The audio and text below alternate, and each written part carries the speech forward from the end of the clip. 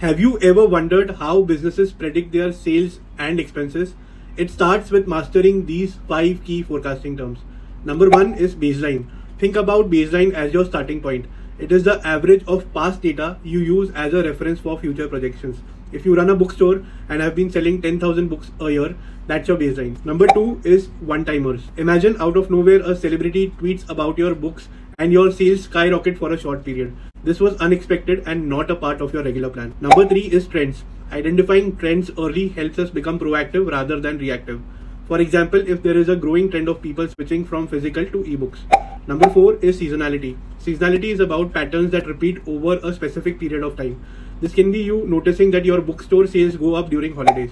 And finally, number five is phasing. Phasing is about timing, understanding when certain events happen for a new marketing campaign, phasing can help you predict when its impact will start showing in your sales number.